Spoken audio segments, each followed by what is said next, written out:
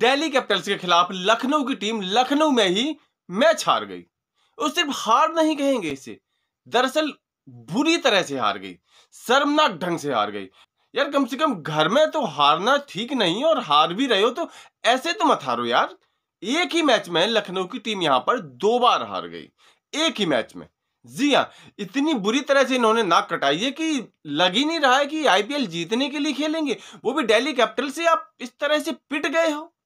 यहाँ पर तारीफ़ करनी होगी दिल्ली कैपिटल्स के खिलाड़ियों की, जिन्होंने मैच को अपने कब्जे में शुरू से ही रखा और लखनऊ के ना तो गेंदबाजों को चलने दिया, ना ही बल्लेबाजों को चलने दिया और बड़े आसान तरीके से ये वाला मैच जीत लिया। पूरी तरह से दिल्ली कैपिटल्स के लोग यहाँ पर हावी रहे, चाहे कुलदीप यादव हो, खलील अहमद हो, सबने बेहतरीन गेंदबाजी की और एक समय तो लखनऊ के बल्लेबाजों ने पूरी तरह से आत्मसमर्पण ही कर दिया था। चौरानवे रन पर सात विकेट हो चुके थे और यहाँ से लग रहा था कि शायद 110 120 रन तक ही पहुँच पाए और आईपीएल 2024 का सबसे लोएस्ट स्कोर बना डाले।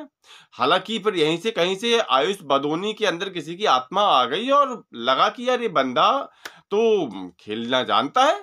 अभी तक तो इन्होंने कुछ अपना इतना बड़ा खेल दिखाया नहीं था, लेकिन यहाँ पर बेहतरीन ढंग से इन्होंने टीम को संभाला। पैंतीस गेंदों में अच्छे खासे पचपन रन बनाए। और टीम का स्कोर डेढ़ सौ के पार पहुँचाने में मदद की। बाद में अरशद खान ने भी अच्छे खासे रन बनाए। तो अगर हम यहाँ पर इनकी बल्लेबाजी का नज़ारा देखें तो हमें एक बहुत बड़ा फ्लॉप शो दिखता है। लखनऊ के बल्लेबाजों का देखते हैं। क्विंटन डीकॉक साहब ने तेरह गेंदों में उन्नीस रन बनाए तो के राहुल ने बाईस गेंदों में उनतालीस रन बनाए। हालाँकि ओपनिंग जोड़ी ने तो ठीक ठाक रन बना दिए थे। दो दशमलव पाँच ओवर में अट्ठाईस रन बना करके ओपनिंग जोड़ी टूटी थी क्विंटन डिकॉक के रूप में। लेकिन यहीं से फिर लगातार विकेट गिरे और एक समय ऐसा आया कि जब चौरानवे रन पर सात विकेट गिर गए थे तेरह ओवर में। लेकिन फिर वहीं से आयुष बदोनी और अरसद खान ने टीम को संभाला और टीम किसी तरह से गिरते पड़ते बीस ओवर में सात विकेट के नुकसान पर ही पहुँच गई एक सौ सड़सठ रन पर। यहाँ पर लगा कि शायद थोड़ा सा संघर्ष कर सकेंगे लखनऊ वाले, लेकिन इसके बाद जब दिल्ली कैपिटल्स के बल्लेबाज आए तो यकीन नहीं हुआ कि वही पिच है जिस पर लखनऊ के बल्लेबाज खड़े होने से घबरा रहे थे। वो आयरम गैरम बने। उसी पिच पर पृथ्वी शॉ और जेम्स फ्रेजर मैकगर यही है, बहुत बड़ा नाम है लेते लेते वीडियो खत्म हो जाएगा।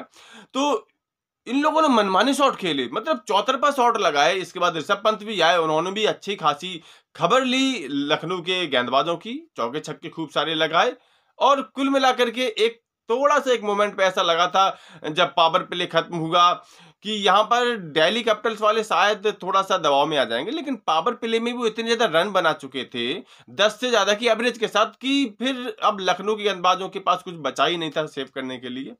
और बड़े आसानी से डेली कैपिटल्स वाले इस मैच में जीत गए। डेली कैपिटल्स की ओर से पृथ्वी शॉ ने एक बार फिर से बहुत बढ़िया शुरुआत दी। बाईस गेंदों में बत्तीस रन बनाए, लेकिन डेविड वॉर्नर आज भी कुछ नहीं कर सके और नौ गेंदों में आठ रन बनाए। लेकिन भाई, नया नाम, जेम्स फ्रेजर मैगर वही हैं जिन्होंने 35 गेंदों में 55 रन ठोक डाले, पाँच छक्के और दो चौकों की मदद से, और इन्होंने दिल्ली कैपिटल्स के लिए मैच को लगभग एक तरफा बना दिया। इसके बाद कप्तान साहब ऋषभ पंत अपनी शानदार फॉर्म को जारी रखते हुए आए और 24 गेंदों में इकतालीस रन ठोक डाले, दो छक्के, चार चौके की मदद से। इसके बाद तो कुछ बचा ही नहीं था, क्योंकि जब तक ऋषभ पंत आउट होते, तब तक बोर्ड पर 146 रन टंग चुके थे। तो यहाँ इसके बाद ट्रिस्टन स्टप्स के पास कुछ ज़्यादा था नहीं, उन्होंने नौ गेंदों में पंद्रह रन बना दी और साई होप ने दस गेंदों में ग्यारह रन बना करके अठारह दशमलव एक ओवर में ही दिल्ली कैपिटल्स ने सत्तर रन बना लिए और बहुत ही आसान तरीके से इस मैच में जीत हासिल कर ली। यहाँ पर इस मैच में लखनऊ को मिलता है ज़ीरो और दिल्ली कैपिटल्स को मिलते हैं पूरे दो अंक। और इसी के साथ अब पॉइंट तालिका में उलट फेर भी हो गया है। यहाँ पर हालाँकि दिल्ली कैपिटल्स की सेहत पर थोड़ा सा कम असर हुआ है, वो दस में से अब नौवें स्थान पर पहुँच चुकी है, लेकिन लखनऊ की टीम जो तीसरे स्थान पर थी, अब वो चौथे स्थान पर खसक गई है। और कहीं ना कहीं लखनऊ के लिए अब खतरे की घंटी बच चुकी है।